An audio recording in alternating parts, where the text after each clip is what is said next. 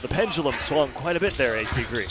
Yes, it did. That means you got to play defense, put the open shots when they're there, like Mr. Andre Ingram. You know, so once again, here it is. Andre doing what he does. Zubac fighting for numbers for the blue. Ingram got in the way. And now the Lakers have numbers. Zubac rebound. Ingram, quick trigger. Back to back threes for South Bay. Good touch pass. Where? Machado, Ingram left alone for the three.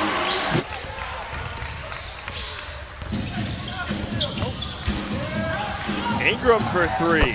The assist from Machado. And the Lakers are up by four. Yeah, you can't telegraph the pass. You're exactly right. Ingram the steal. Dozier fighting for it, and he gets called for the foul. The head of the pack has to save it. And now Ingram in the corner. A broken play leads to a three for Andre Ingram, his fifth.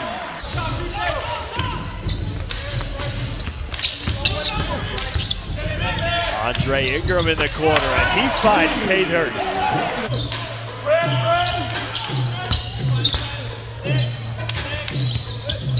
Ingram just inside the arc, and Andre Ingram. UCLA at its finest. Ingram in the corner. Hits his seventh three pointer of the night. It's unfortunately not going to be enough, tying a career high seven triples.